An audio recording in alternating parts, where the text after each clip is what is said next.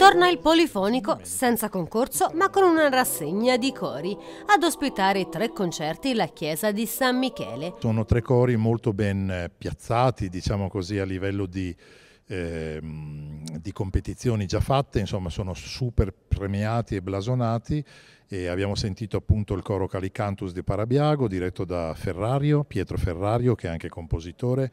apro una parentesi, compositore che è appena stato premiato anche al nostro concorso internazionale di composizione, Sibi Consoni di Genova diretti da Roberta Paraninfo e il gruppo femminile del, la sezione femminile del gruppo Novecento diretto da Maurizio Sacquegna.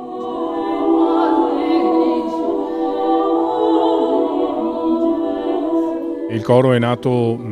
vent'anni fa esattamente e nel 2018 avevamo vinto con la sezione femminile il terzo premio qui al Polifonico Nazionale. E il coro si articola in due sezioni, maschile e femminile ed oggi siamo stati ben lieti di partecipare a questa importante rassegna al posto del Polifonico Nazionale. Un onore grandissimo. Eh, eh, riuscire ad essere nelle prime posizioni di un concorso di rilevanza internazionale, per cui sono, sono felicissimo di questo,